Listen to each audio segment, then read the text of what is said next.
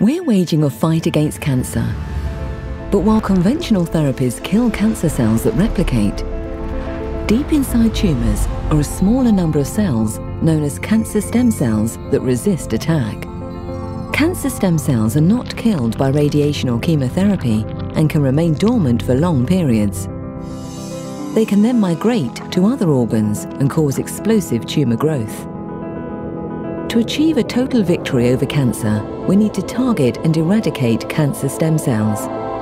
Announcing PRP, a revolutionary therapy derived from two pancreatic proenzymes, trypsinogen and chymotrypsinogen, that stops cancer stem cells machinery by turning them back into normal cells. PRP's unique patented approach suppresses metastasis and tumour relapse, complements conventional therapies and is safe at specified dosage with minimal toxic effects.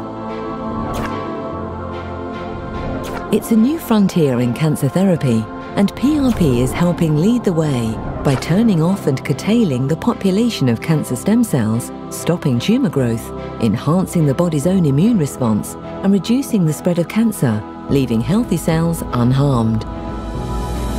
Offering new hope for clinicians and their patients to greatly improve survival PRP has the potential to transform cancer care.